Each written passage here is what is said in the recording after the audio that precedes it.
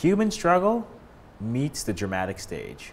We're here at the Marilyn I. Walker School of Fine and Performing Arts to find out more about Radium Girls. Grace, for Christ's sake. You got one lawyer working for nothing up against six lawyers who are getting a bundle. And you think you got a chance? Radium Girls follows a tragic true story of New Jersey workers who were exposed to large quantities of radium while working at a paint factory in the 1920s.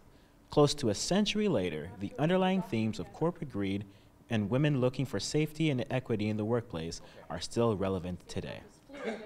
Out of nowhere, girls start getting sick in the factory and it starts to get more epic and girls begin to die. And it just kind of tells the story between CEO corporations versus the working man, like the guy who's actually working there. And I find it really interesting um, the dichotomy between the two, and it's they both parties think that they're doing the right thing and they're doing what's right for them and for the greater good.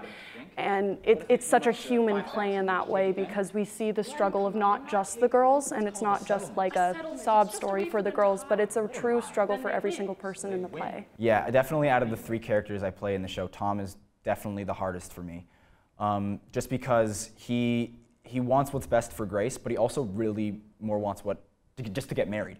And Grace just won't give him that. So the play is just this journey for him of him just trying to get married with Grace and the and him just her, just constantly getting shut down and finally what you just saw was the breakup.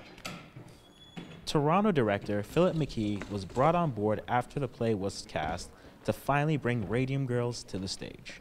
So it feels like a real privilege to be in this building with these uh, lovely young people um, uh, working on a, on a kind of meaningful text. So the thing that I feel like I'm really a broker, broken record uh, on is uh, asking the students to just speak in their own voice. It's, you know, it's the, the hardest and the easiest thing to say to an actor because um, you're asking them to be natural under unnatural circumstances. So I'm always just saying, uh, be yourself, let the character come to the audience through your own personality and speak in your own voice.